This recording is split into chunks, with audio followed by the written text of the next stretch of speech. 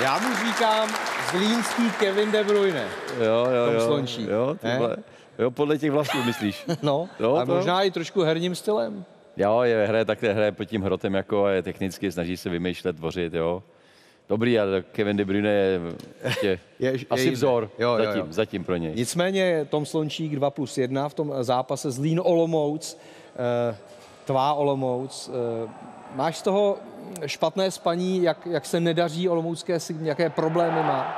Tak mrzí mě to, protože tam mám eh, spoustu kamarádů, eh, bývalí spoluhráči a že teďka celkově eh, nějaký pohled na tu Olomouc i, i mediální, něco tam není dobře a hrozně mě to mrzí, no, že, se, že se jim tak nedaří. Byli v, v polovině sezóně, sezony na tom byli dobře, eh, vypadalo to, že by se mohli poprat o evropský poháry a teď, eh, teď mají jedno vítězství, no, takže, A takže jsou těsně nad skupinou o záchranu dokonce. právě, no, takže, takže mě to hrozně moc mrzí a, a samozřejmě, že jim fandím a snad se jim eh, ten konec soutěže povede mnohem líp.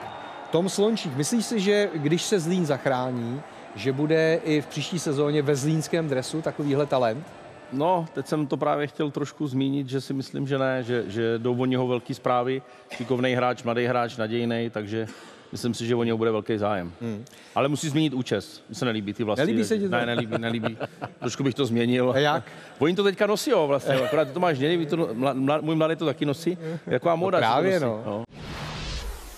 Líbí se vám tahle ukázka z Tiki Taka? Puste si další na kanále O2 TV Sport.